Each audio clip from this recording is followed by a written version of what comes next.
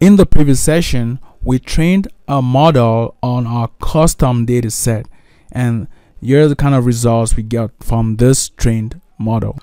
We also saw that there were different flavors of the YOLO X model and the model we just trained was a YOLO XS version or the YOLO XS flavor.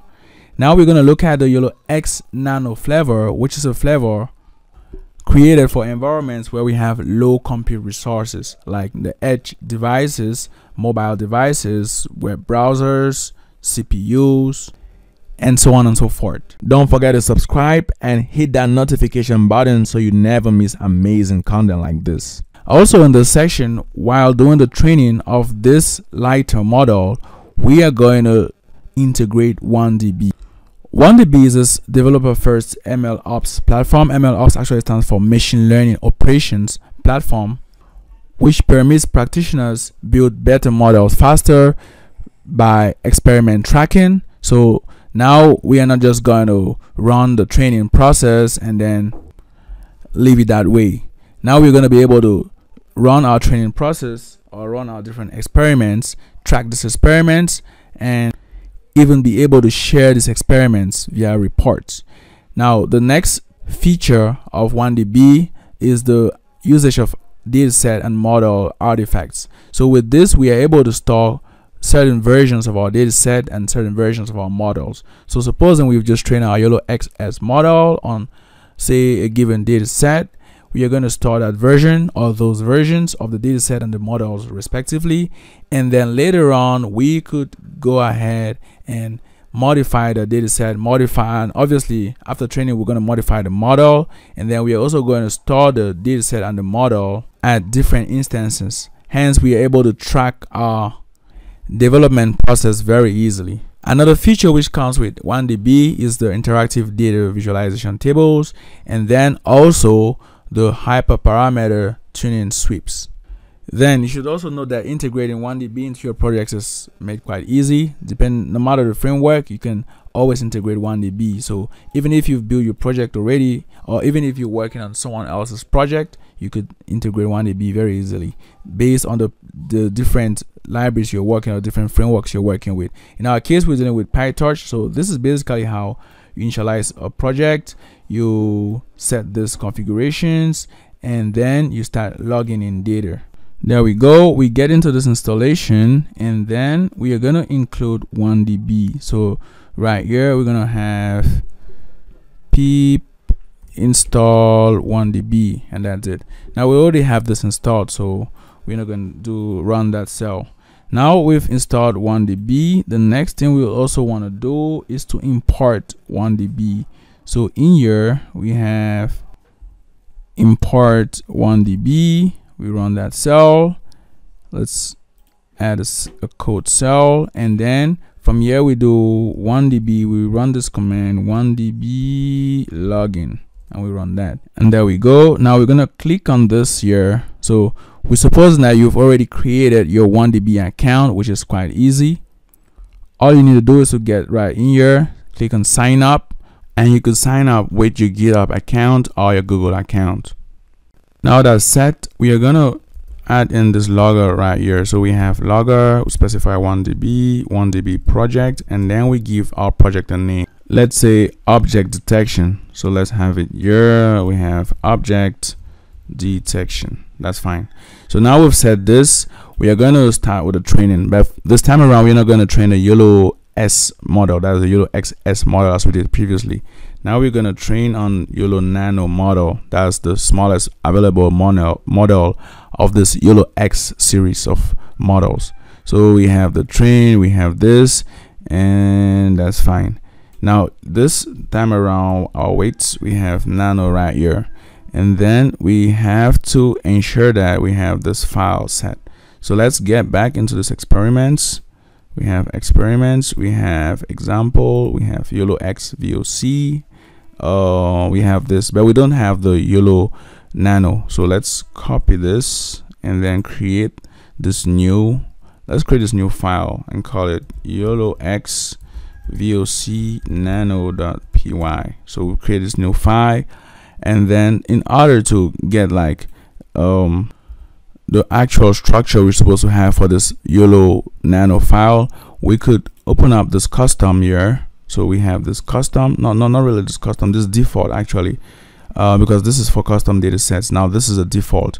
So here we have YOLO X Nano. We click upon this, and then you'd see that there's a different configuration right here. We have this get model method, which permits us configure this YOLO X model particularly. So here we have for the YOLO Nano, we have its own configuration right here. See, we have specified its own configuration, specify its own backbone, specify its own head. Recall that with the backbone, we're able to extract features. With the head, we're able to classify and correctly say whether a particular object is found at a particular point or not while specifying the objects class. And so that's why you see for this default files here we have some certain different configurations. So you see that for the YOLO XS for example you have this. Uh, for the YOLO XX let's say YOLO XX we have this. YOLO XL you see we have all those different configuration files here. So that's it. We have our YOLO X Nano. And so we copy this out. So we copy this out and then place it in this uh, YOLO file here. So we have um let's scroll up. Let's take this off. Take off this default example YOLO X VOC YOLO X Nano and then we paste this out here. So this is fine now. And then you'll notice that this input size is no longer the 640 we had. Now it's 416 uh, we have that right. And then we also specify the max epoch. So here we have self max epoch and we have let's say 20 then from here we save this file and then we could go ahead with the train so let's run the cell and then see what we get. Um what do we have here? We have an error which pops up. We're told that this file right here doesn't exist. Now this has to do with the data set. So we could get back to this and then reuse the same methods we had used for this YOLO X or YOLO XS version in the YOLO X Nano version. So instead of having uh, instead of having the data loader for this load from the or make use of the Coco data set, we are gonna use this one which uses the Pascal VOC data set. Notice how the with the default we using the Coco data set, whereas here was specified YOLO X VOC. So here is a Pascal VOC data set and so we are just going to copy this methods right here. So we have this get data loader see it's for pascal voc we have this get eval loader and we have this get evaluator. So we copy all this out from here up to this copy out this method. There we go. We have up to this here. Okay. So we've copied out this method and then we paste it just after this get model.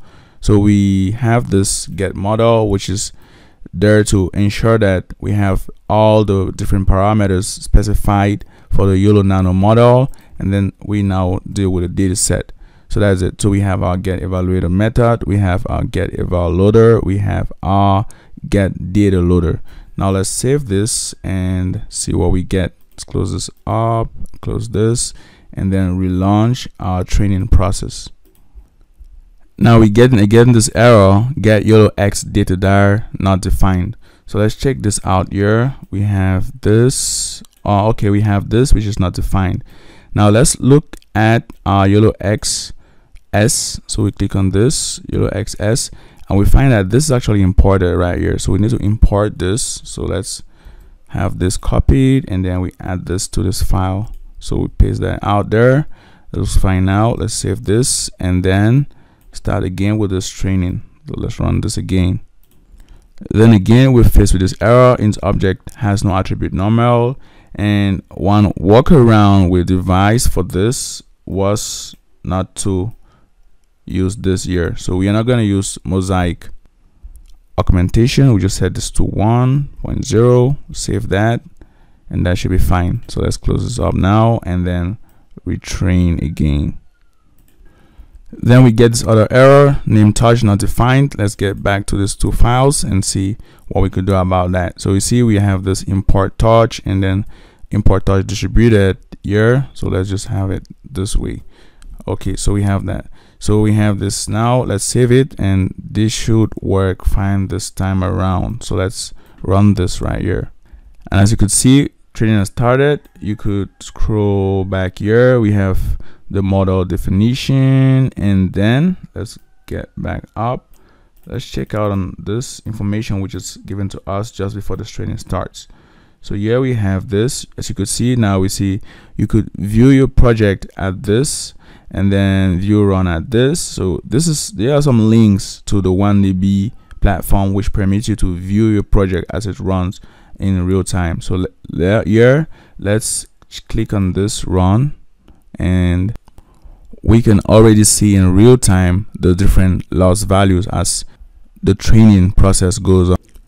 Clicking here we see we have the cpu utilization system memory utilization and all other device usage statistics. Like for example you see you have the gpu power memory allocated and so on and so forth.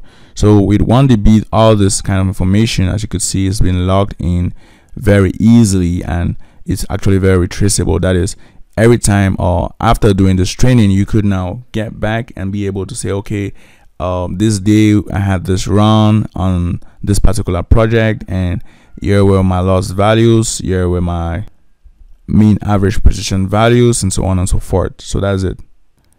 And then here you also have some logs so everything that's been logged you could actually view this here so even after closing your Colab notebook you can always get back and view all these logs we also have files. Uh, click upon this. You see we have these different files. We have artifacts like your model. So um, now you have this model. You have files here. You see you have this file that's the model which we actually training is now being stored in WandB such that even after closing your Colab notebook you can always get back to this same model right here and be able still to make use of it. Now the training is complete. As we could see right here we are having the best average precision of 41.89 which is slightly less than what we had when we we're dealing with the YOLO XS model which had the best average precision of 45 and what's also to be noted here is this average inference time of 8 milliseconds, let's say 9 milliseconds. This is split into the forward time and the non-max suppression time.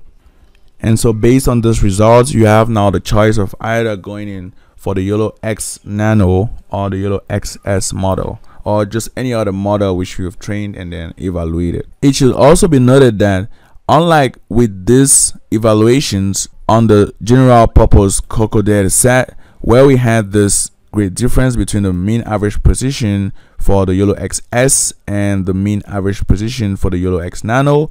Now here we have in instead 45 and then here we have in 40.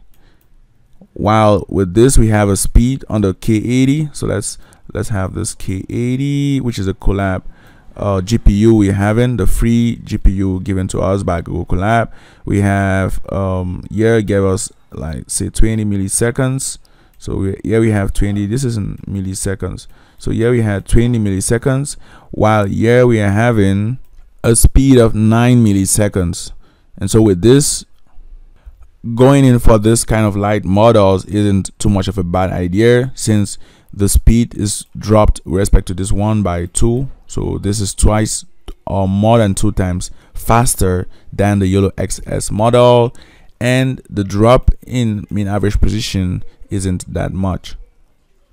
Although if you have some initial requirements of the mean average precision of like say you, you fixed the minimum to be at 45 then you would have to go for this YOLO XS Getting back to the notebook and training for more epochs, that is up to 30 epochs, we get even better results. You see here we have a mean average precision best result of 43.36% with an average inference time which is even lower than what we had before. So here we're having like six, approximately six milliseconds for the average inference time. Now let's go ahead and do a demo. So let's get back here. We have YOLO X Nano demo we're not going to be using this original model so that's not very useful. We have to specify the best YOLO nano model. So to have this you just have to get back here YOLO VOC nano and then you pick out the best. So we have your the best model which we are going to copy just as we did with the voc with the yolo xs and then we paste it here so this is it just here which we've done already and then we specify this path here so let's run this now and then see what we get. Uh, while waiting for that let's check let's reduce this. We have yolo x nano. Check out the inference time. This is 40 milliseconds. Um here we have that. Let's check out this last one here. Click on that and here are the results. So you see that it does quite well though it detects the shoes twice. And you should also note that this detection is done on this image which has never been seen by the model. Now let's uh, modify this take another image. This time around this image has been seen by the model so we expect to get even more much more perfect results. Let's click here and see the results we get in so we have this here we click on that and there we go. Now let's reduce this. See we have shirt we have pants we have shoe. So that's it and then you see the time it takes like it's 40 milliseconds. And then from here we now move on to the evaluation where we'll just simply run this eval.py file which is given to us right here. So with that we have this. We, we again specify our yolo voc nano file. We have the best weights. And then we specify we are dealing with just one gpu and that's fine let's also modify this confidence score. So let's say we're dealing with a confidence score of 0.2 and that's it. Let's run now. And here's what we get. We see that we have now this mean average precision of 0.41 41.43 percent with an average inference time of 5 milliseconds. Then if we modify this confidence score modify this confidence score to 0.1 we see we get slightly better result and so this should help you in choosing this confidence call when trying to run a demo